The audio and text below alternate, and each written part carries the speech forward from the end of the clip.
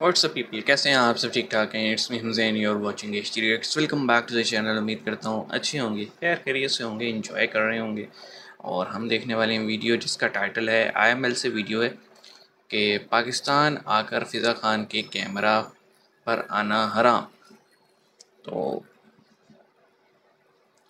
बीच में थंबनेल जाकिर नाइक का भी लगा हुआ है। और थंबनेल में जो कुछ लिखा हुआ है वो भी मैं कोशिश करता हूँ पढ़ के आपको सुनाता हूँ कि फ़िज़ा के आगे लिखा हुआ है पैर पर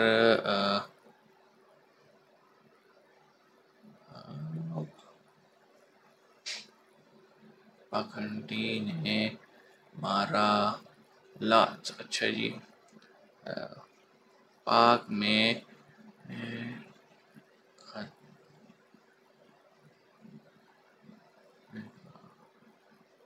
पाक में खातून का आकर आके कैमरा पर आना हराम।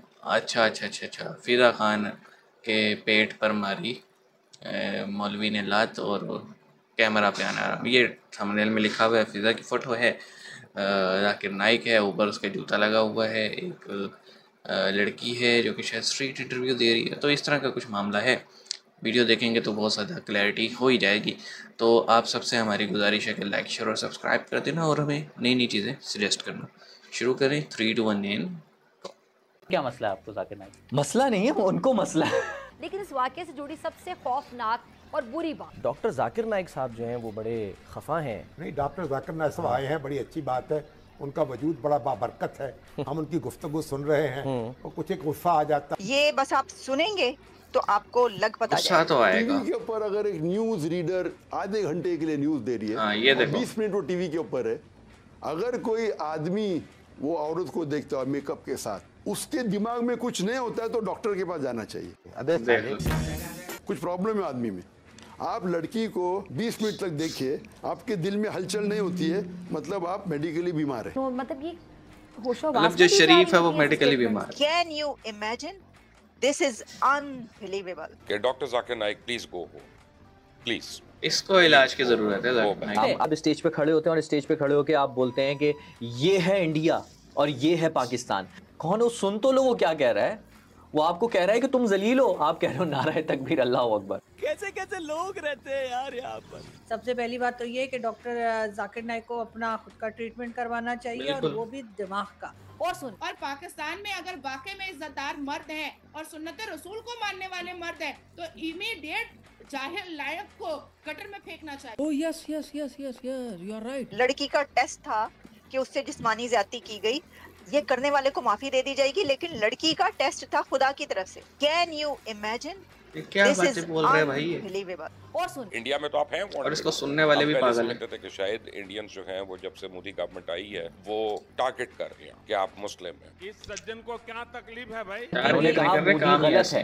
लोग अच्छे हैं। वहाँ की यहाँ पर भी कहते हैं ना कि मुझे लाने वाले गलत हैं। अभी आप गेस्ट हैं ना कहते हैं मुझे लाने वाले गलत हैं क्यों नहीं कहा? क्योंकि आप उल्लू के पट्टे। पाकिस्तान जो है इस एक बात पे सारे पाकिस्तानी जो है उन उनमें एक चीज़ पे यूनिटी है और वो ये कि भारत ने बेहतरीन काम किया जो डॉक्टर जाकिर नाइक को अपने यहाँ से बाहर निकाल दिया। वाह मोदी जी वाह। और इस जाकिर नाइक को बुलाया है पाकिस्तान के स्टेट ने। पाकिस्तान की गवर्नमेंट ने जाकिर नाइक को स्टेट गेस्ट के तौर पे बुलाया है। सारा खर्चा पानी इनका हम उठा रहे हैं। और ये बातें भी अजीब कर रहे एक इस्लामिक कंट्री है।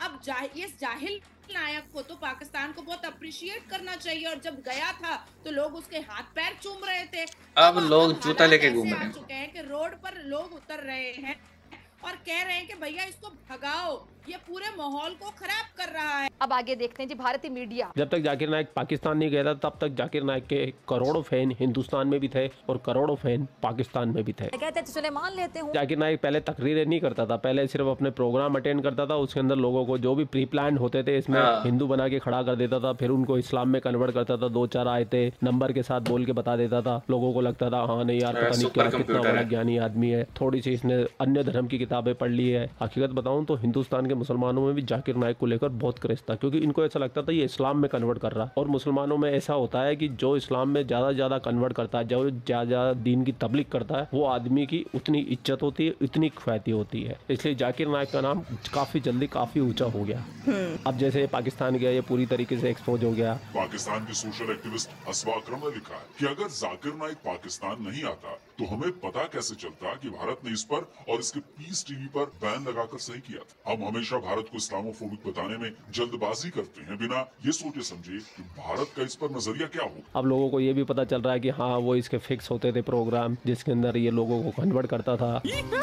जो इसने बातें बोली exactly. एक हिंदू होने के नाते मैं तो बर्दाश्त कर भी नहीं सकता सुन भी नहीं सकता। वो करने के लिए पाकिस्तानियों को बोल रहा। है एक तो वो पहले से जाहिल है ये उनको और जाहिल बना रहा। है ये इनको लेके जा रहा है पाछाणु के अंदर जहाँ पे लोग पत्थरों पे सोते थे गुफाओं में रहते थे ते बाँध के घूम घूमा करते थे। ऐसे इरा के अंदर इन पाकिस्तानियों को ले जाना चाहता तो पाकिस्तान के बुद्धिजीवियों की आँखें खुल गई है और पाकिस्तानी ही जाकिर नायक को अब कोसने लगे। क्या मसला है आपको जाकिर नाइक से? मसला नहीं है उनको मसला है पाकिस्तान से। तो एक इंडियन शहरी को पाकिस्तान से मसला है मुझे तो ऐसा लग रहा है जो नज़र आया है। वो नज़र ये आया इंडिया भी उनसे कोई खुश नहीं है।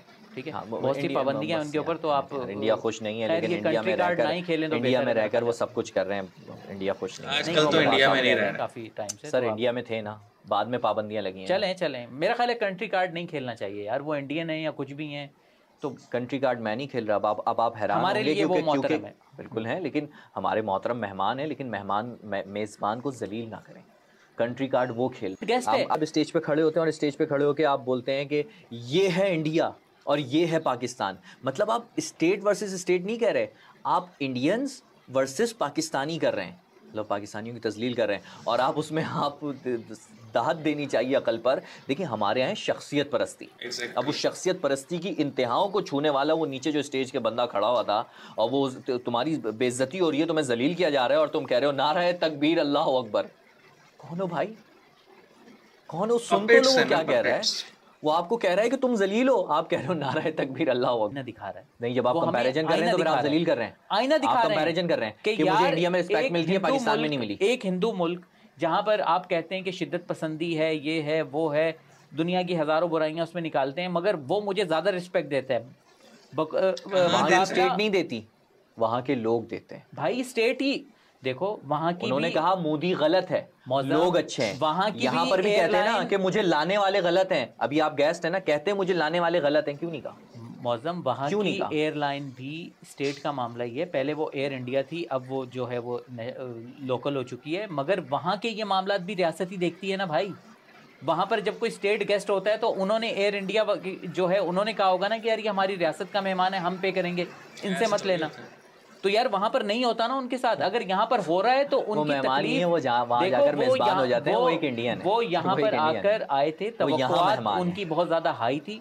मगर उन्होंने जब ये ये सादा सा रवैया देखा क्योंकि हम बहुत मशहूर हैं ना दुनिया मेरा क्वेश्चन है जनाब ये जो भाई साहब सवाल कर रहे हैं कि जनाब किया जाता होगा फलाना जाता होगा। बात यह उस बंदे पे इंडिया पे बैन है।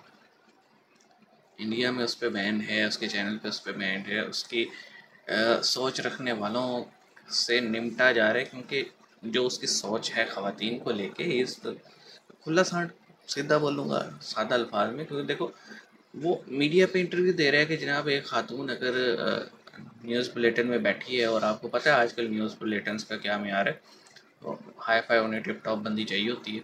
तो वो कहता है, अगर उसको देख के आपके दिल में हलचल नहीं हो रही तो आपको कोई इलाज करवाना चाहिए। भाई, इलाज की तुम्हें ज़रूरत है, वो भी दिमागी इलाज कि तुम जहाँ लड़की देखी नहीं तुम्हारी राल टपकने लग जाती है तो अगर तुम्हारा ये मामला है तो तुम सीधी बात बोलूँगा ही सेक्स ऑफेंडर और इस पर पाबंदी लगनी चाहिए। उससे सवाल किया जाता है फीडो फ़ाइल का, और हो रहे हैं, या तो ना होता हो फीडो फाइल्स यहाँ पे केसेस हैं। वो कहते हैं ना, सवाल गंदम जवाब चना तो उससे सवाल पीडो फ़ाइल का हो रहा है, वो कोई जवाब दे रहा है। तो मेरा ये ख्याल है कि इसको लाने वाले इसे बहुत बड़ी तोफ समझते थे। उनको समझाने वालों ने समझाया होगा कि भाई ये जस्ट लाइक अनदर मदरसा छाप, ये वही बातें करेगा। बस फ़र्क ये वो शलवार कमीज़ में और इमामा रख के करते हैं, ये सूटेड बूटेड होके करते हैं, फ़र्क सिर्फ़ इतना है।